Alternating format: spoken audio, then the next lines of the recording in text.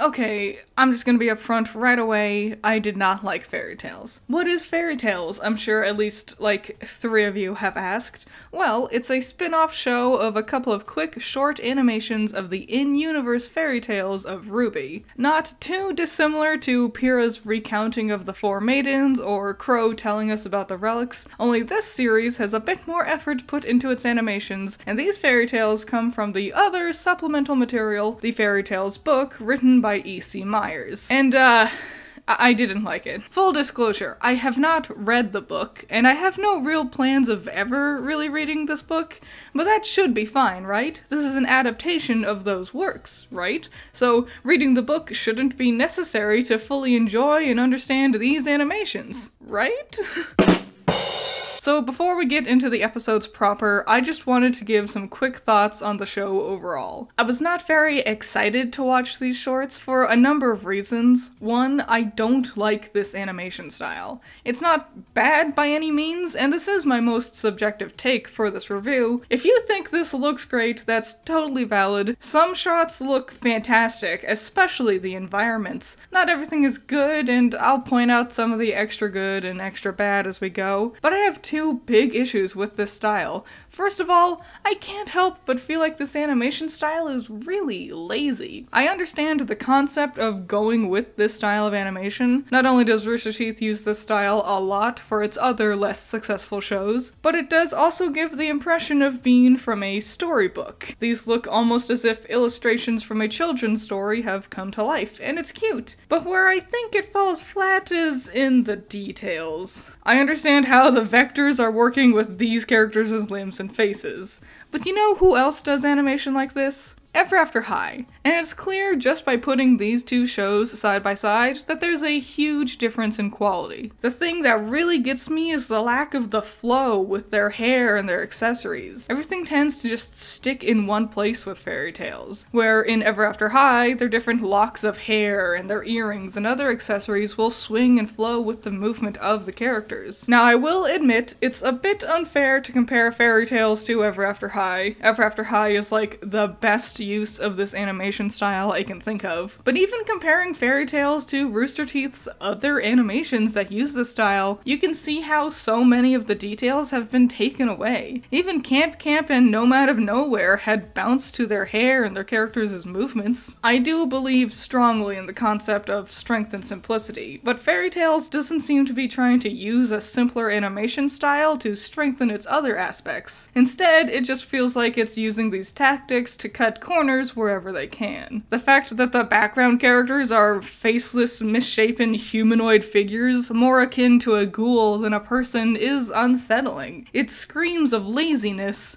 rather than style. And my other biggest issue with the style is the fact that this doesn't look like RWBY. Not even because RWBY is animated with 3D models and this isn't a 2D style. Nah, like, they just they don't look like RWBY characters. If I didn't know any better, I would have guessed this is for some other project Rooster Teeth was working on. Like, RWBY is very obviously going for an anime style with its art direction, but Fairy Tales is going with a much more traditional Western cartoon approach. RWBY has large eyes and tiny noses, but Fairy Tales has small eyes and wide set noses. This doesn't look right. But then suddenly, some characters do share RWBY's proportions. When it comes to the characters who have been introduced in the series proper, suddenly they have their tiny little noses back, and it just kind of feels like a completely different style. Everyone else has these wider noses with this fade effect, but then oops, here's our tiny anime noses. It's almost like they realized no one would recognize these characters with such different proportions or style, so they just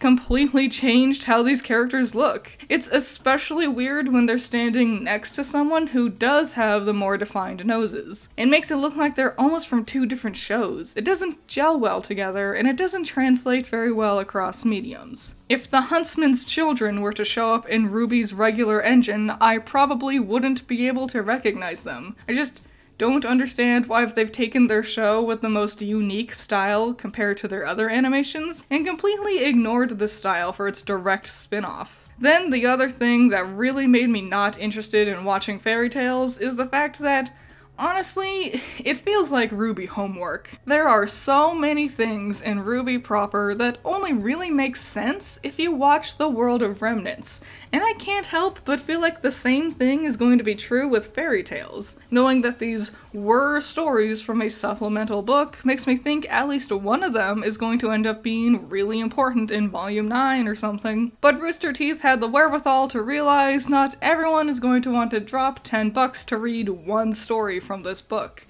So the logical option is to animate it, so then you can throw it onto YouTube so people will understand the story better. But if you're gonna do that for one story, might as well make a whole little series out of it, huh? And quite frankly, that's not an unreasonable assumption. In universe, the only fairy tales we've ever heard, sans for the girl who fell through the world, have all become true. Fairy tales are presented as thinly veiled explanations for in-universe history. It's not surprising I came into these episodes expecting them to inform us about some characters' motivations or some plot threads' development. And as of me writing this, there is no real proof that that's what's going to be the case. But I can't get the idea out of my head that I need to watch this series, otherwise I'm going to be left out of the loop somewhere down the line. The moment a supplemental material no longer feels supplemental, it starts to feel like homework.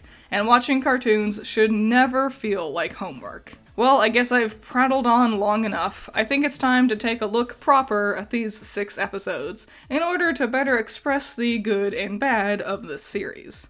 Is Oak okay? Just caught a chill in the forest. It's nothing. Unfortunately, I think we're starting the series off with the biggest dud of the bunch. While other stories from fairy tales are definitely much, much more boring, this one is almost incomprehensible. At least if you didn't read the original story beforehand. It's literally to the point where I had to look up what happened in the original story in order to actually understand what the hell was happening in this episode. The point of adapting a story is to make it equally as enjoyable, just in a different medium. This episode just fails completely in terms of adaptation in every way. Well, let's go into some specifics. So we start with this girl, Poppy, hanging out in the forest when her brother, Oak, starts calling for her. Wh- where'd you go? Come back! Okay, so apparently she's supposed to be hidden within the tree line, but this shot does not convey that at all. Instead, it makes it seem like Oak is blind or something for not being able to see her right in front of him. Now, credit where credit is due. Caiden does a great job voicing Poppy. See, Oak? Told you so.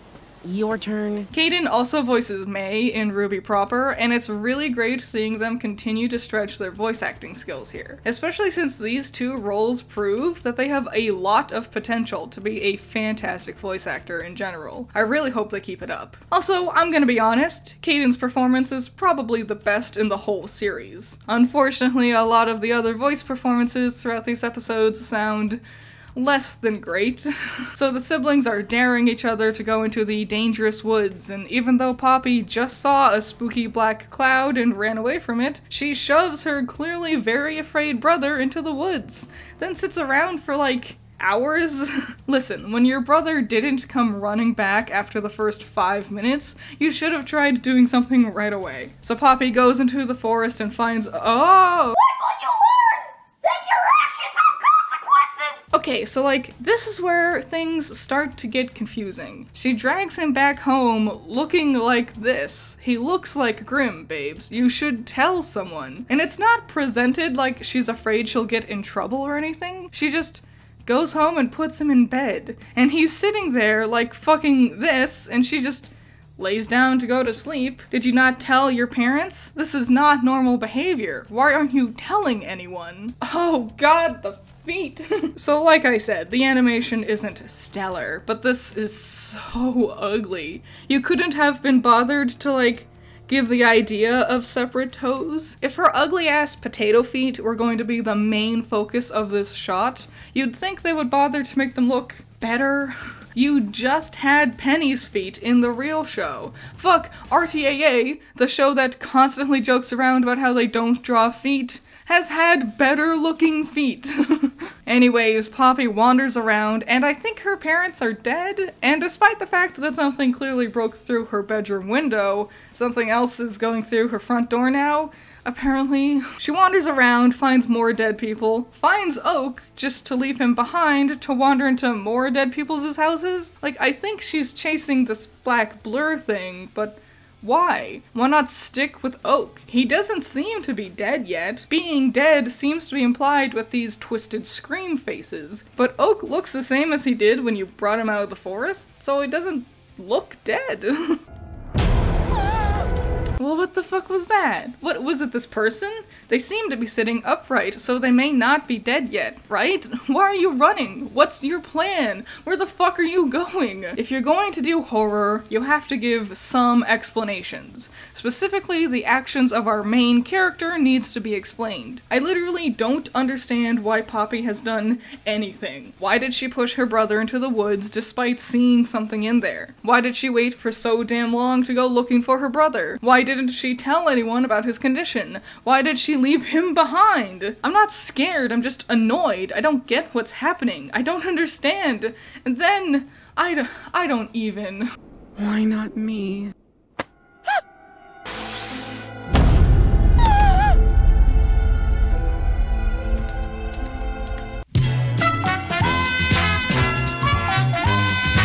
This is so poorly explained. How did she get the Grimm stuff? Did it transfer to her after touching this boy? Why? Why wasn't it when she touched Oak all those times before? Was it this dark moment before she got home? Why? Why didn't it kick in right away? What? What even is this supposed to be? okay, so Apparently, what happens in the original story is that Oak gets infected with a Grimm called the Chill. It takes over his body and tricks Poppy into bringing him back into town so it can feed on the other villagers. This silent catatonic shivering thing isn't in the book. Apparently, the Chill is intelligent to some degree, I'm guessing that's what the blue eyes were supposed to be. And apparently, this was just a random story to tell the children of the village to warn them about going into the woods. But apparently, and you don't know how many hoops I had to jump through to figure this shit out, apparently, the intention with this animation adaptation of it is that Ozpin has changed the story to instead act as a warning for Salem, taking that pre existing story of the chill and changing the side effects to look like Salem, to use this story as a warning for kids to avoid the Wicked Witch in the Woods, which is so fucking stupid. This animation doesn't display any of that. Instead, this animation is just a confused, annoying mess that is completely tensionless and leaves zero impact. Hell, it doesn't even portray the concept of tell your parents when you do something wrong. Instead, it just portrays this moral message of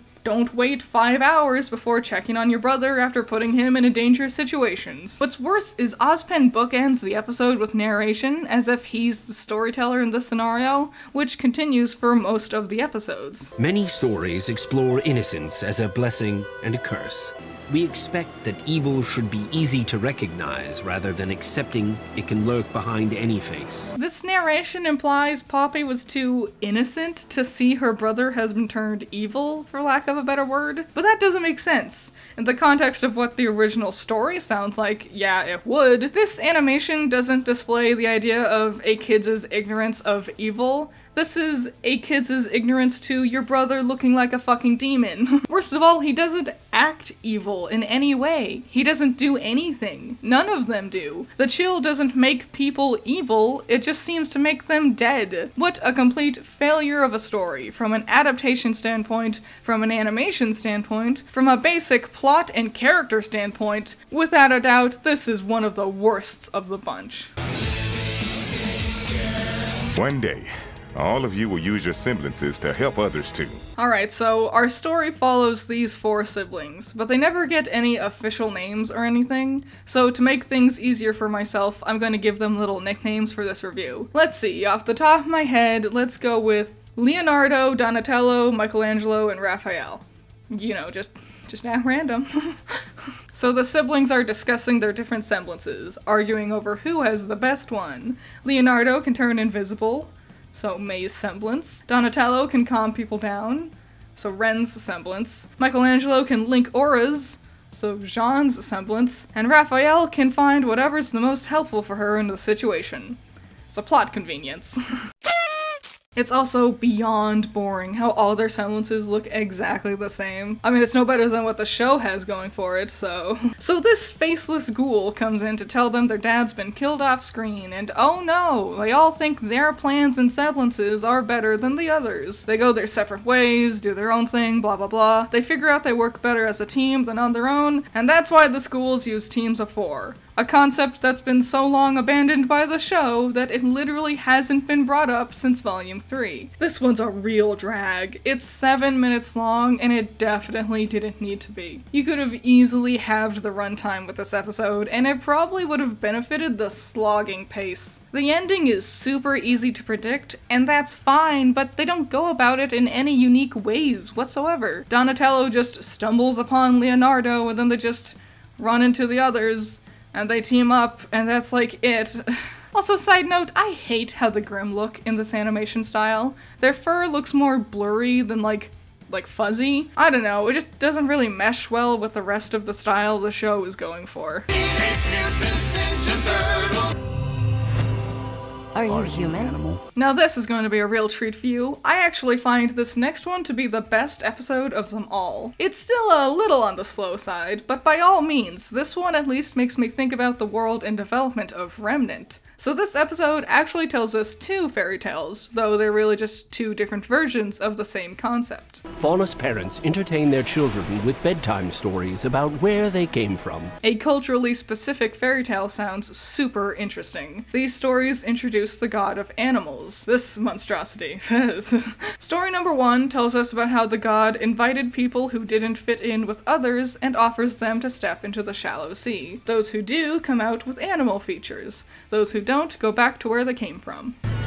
Though the sea did not touch you, it has revealed your own shallowness. This short story is really solid, and honestly, I wish more of these fairy tales were short and to the point like this. Not that the theatrics of the different fairy tales are bad necessarily, but I think the message keeps getting lost in the drawn out runtimes. We then transition to our second story, where man and animals are at war with each other. Man are upset that the animals don't help them with fighting the Grimm, and the animals are upset that the humans destroy nature in order to build things. Once again, the god of animals steps in and offers to end the war, but only if they accept his judgment. Both parties agree, assuming the god will be in their favor, but then he turns the tables and fuses them together into one. Each side grows the other's problems and their strengths an outcome that everyone seems pretty jazzed about in the end, though unfortunately it means they've gained a common enemy, both with the Grimm and with the humans. Yet they reflect the real and unfortunate history of conflicts between humans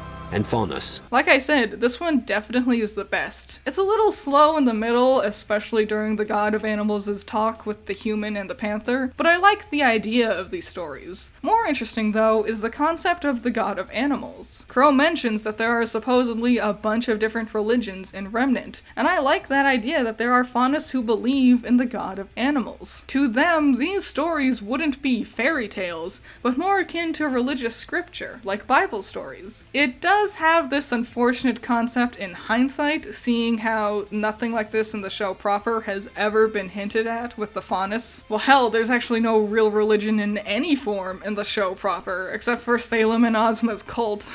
now, RWBY proper already didn't handle racial discrimination very well, and I really don't think they would have handled religious discrimination any better, so maybe it's a good thing it never got brought up in the show proper. But, like, conceptually, it does make the world of Remnant a lot more interesting. What happens to the mortal mind when it has more knowledge than it is capable of bearing? And now it's back down to Boarsville, with the also way too long, the indecisive king. Ugh, also, that question, what happens to the mortal mind when there's too much knowledge to bear? Yeah, that doesn't get answered in any way. Also, this shot of the king freaking out is only in the first 30 seconds of the video, so a whole lot of lies right at the beginning here.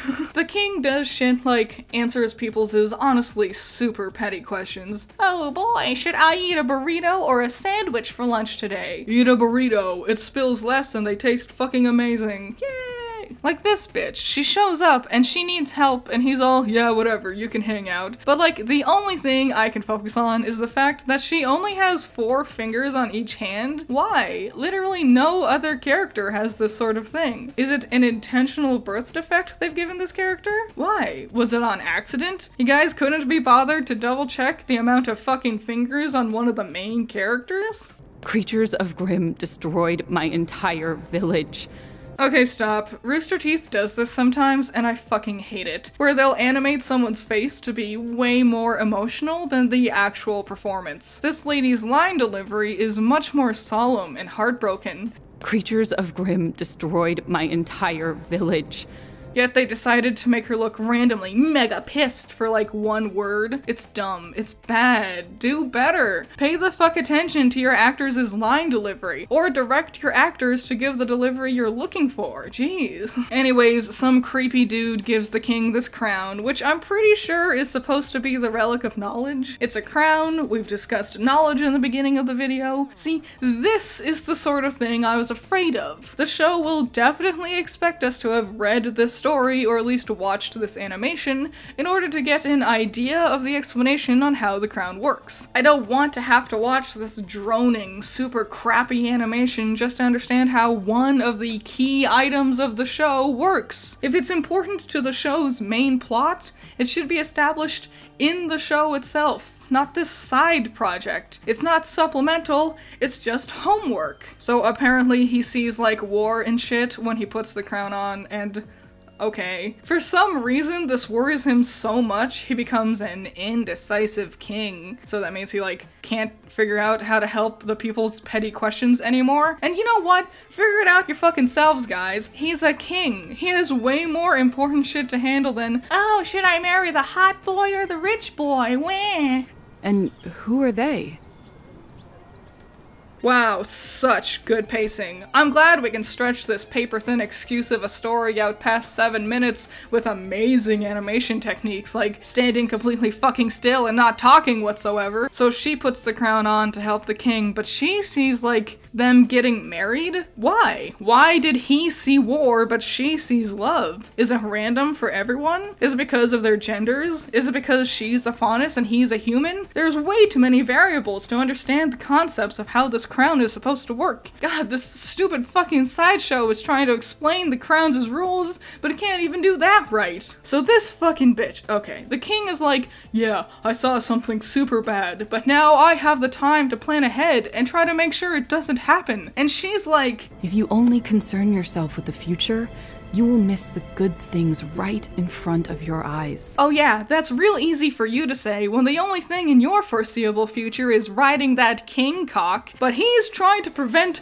catastrophic war. Could you imagine if someone was given a glimpse of the future and they were like, I can save everyone, and someone told them, eh, don't worry about it. That's the future. Worry about it when it gets here.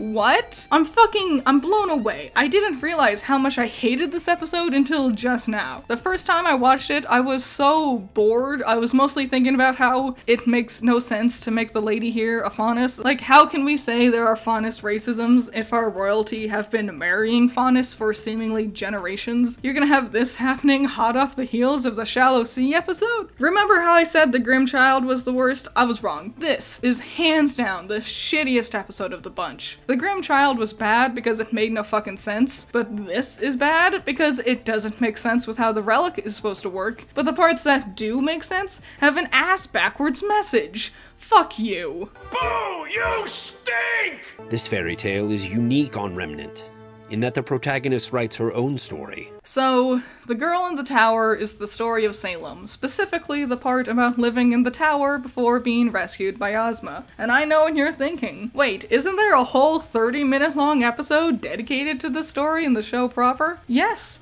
but in this little 5 minute long video, it covers all the shit that went unexplained. So if you had any questions about how this story actually worked, you can now look it up here. You know, like homework.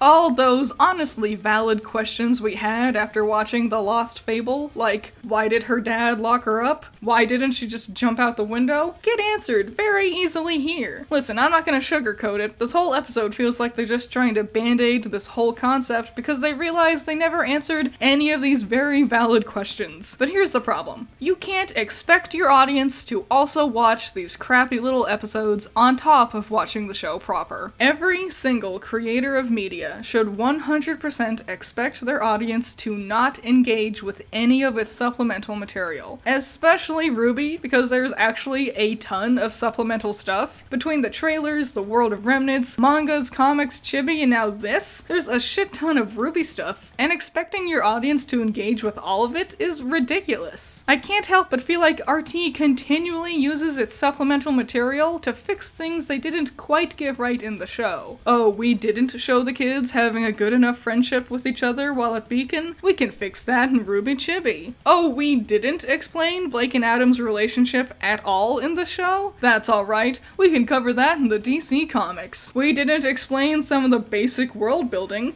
let's make the world of remnants, that'll fix this problem. And now this episode is just a shining cherry on top of this concept, to the point where it almost feels like they made this whole anthology series just to make this episode available to the public. That way people will stop asking these questions over and over and over again. Oh, we didn't explain why Salem was locked up and why she couldn't just escape out of her gigantic window? Well, let's make this half-assed animation to quickly go over these things that could have very easily been in the episode proper. But we didn't actually think about these answers until after we released the episode. And yeah, they also put the answer in their book, but no one wanted to read that. Gotta put it on YouTube for free. Otherwise, no one will want to watch it. Because heaven knows most people bitch too much about watching RWBY proper on Rooster Teeth's site, even though that's free too. Ew, the ads, wah. Please, this is nothing compared to Crunchyroll or early YouTube. about this actual episode itself,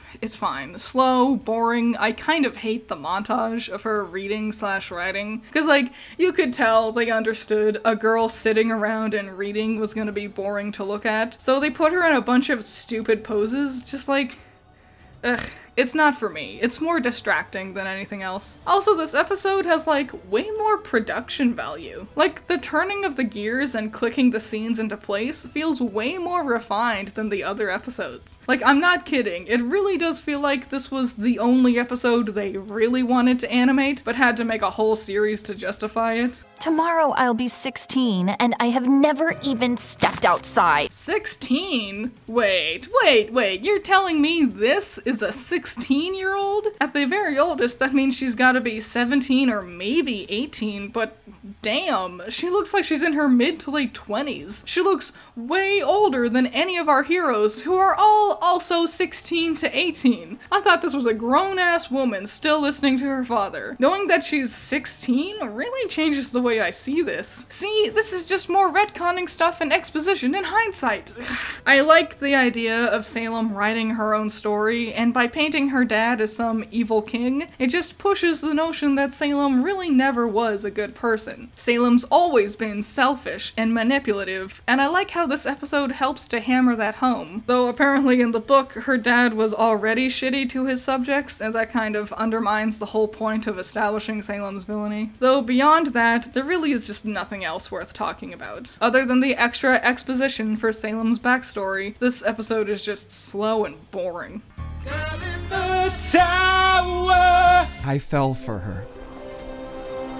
The moment I saw her silver eyes. This next one is really unique because this is the only one where Ozpin isn't the narrator. Instead, it's presented to us as Tai reading a storybook to Ruby and Yang, and honestly, I really like this idea. It's super cute, especially with this part. The people became complacent. Complacent? Oh, uh, careless. Oh. I love the idea of having an active storyteller and an active listener for these stories. Honestly, it makes me wish the rest of the episodes were like that too. It could have helped paint these stories as conversations rather than just Ozpin recounting his gloomy past.